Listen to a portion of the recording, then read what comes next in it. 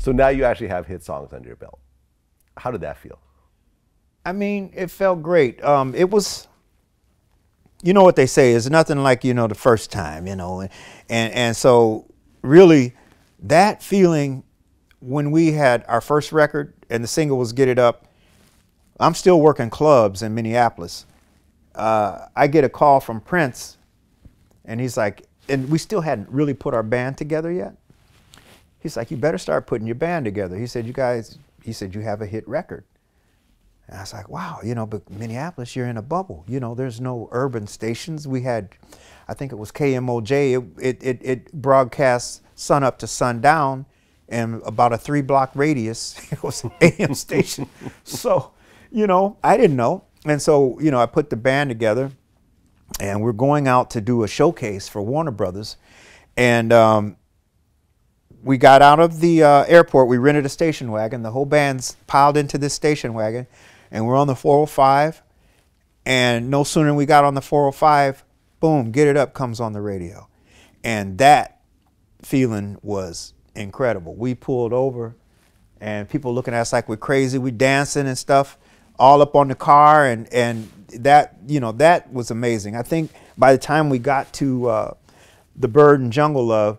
Um, it, you know, it was exciting, but it wasn't as exciting as that first single. And plus, Jungle Love was on the radio so much, man. I think it every every station, you know, I turned, you know, I would hear it, and I turned to another station because maybe I didn't want to hear it. And guess what? It was on. It was just the rotation was incredible. Well, right around that time, and a lot of people don't realize this, but you know, Michael Jackson is always put on a pedestal. But around the Purple Rain time, Prince and Michael Jackson were kind of neck and neck.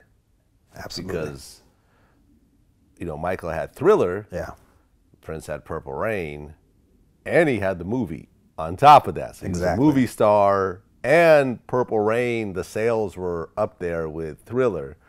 And I guess the two of them had a kind of a, a rivalry. They did, but you know, I think they kind of squashed it. I, I, um, I remember Prince told me that he went and met with Michael at some point, and I guess they talked about some stuff. Um, you know, I, I always thought that was an interesting comparison. I think that they were on the same level as artists, but I think Michael was he was straight entertainer. Well, Prince did it all. You know, Prince was the entertainer, the writer, the producer, everything. So to me, I just thought that made his worth. And not to try and take anything from Michael, don't get me wrong, one of the greatest that ever walked the planet. But I just thought that Prince, as a, a, a rounded, I mean, was the whole package. Right. He was a musician, a songwriter. He didn't need anybody Yeah. to, to get him from A to B to Z. He, you know, he could do it all himself. Yeah, Michael needed Quincy Jones. There you go. That's all I'm getting at. Uh, Michael needed R. Kelly later. Yeah, he yeah. needed he needed producers. Yeah, he needed, people. songwriters. Yeah, yeah, uh, yeah. But Prince played like a hundred different instruments. yeah, yeah.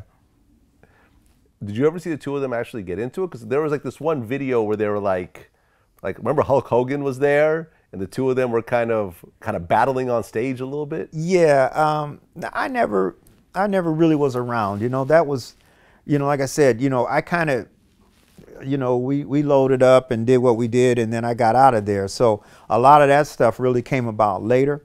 And you know, Prince is one of them kind of cats where, um, you know, I never had his phone number, uh, not after I left Minneapolis. Um, so I never knew how to call him, and he always contacted me at some obscure hour of the night. My phone rings, and I, I mean, I had, you know, or I could count on one hand. I had some crazy cousins who called me in the middle of the night, but usually it'd be him. And he's got some kind of idea, something he wants to do. But um, no, I, I could never just pick up the phone and say, hey, what's up, you know, or nothing like that. He had to, it had to be him calling.